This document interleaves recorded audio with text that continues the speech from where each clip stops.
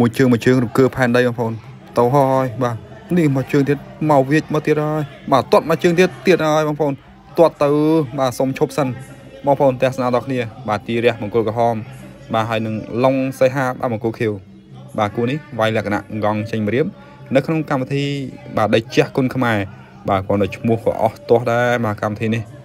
ហើយកម្មវិធីនេះគឺជាកម្មវិធីដែលបណ្ដោះបណ្ដាលថ្នាលដែលមាន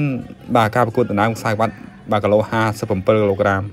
បាទកីឡាករកំពុងតែ បាទត្រូវការការប្រកួត ស្របពេលដែលបាទកម្មវិធីដាក់រង្វាន់ធំឲ្យដណ្ដើមទៀតបាទអញ្ចឹងបងប្អូនទស្សនាដល់គ្នា បាទគូនេះគឺមិនចាប់ទឹកទេ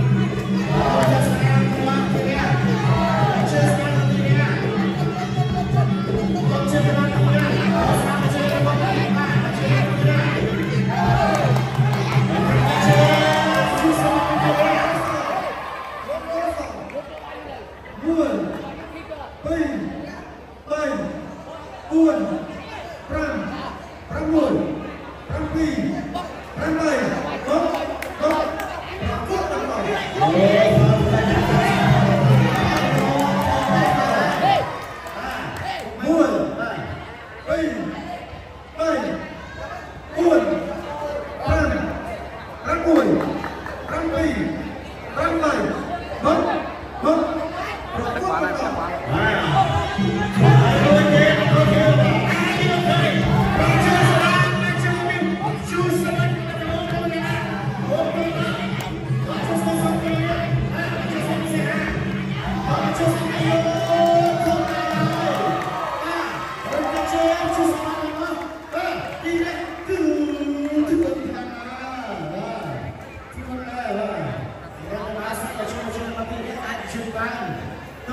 Gracias.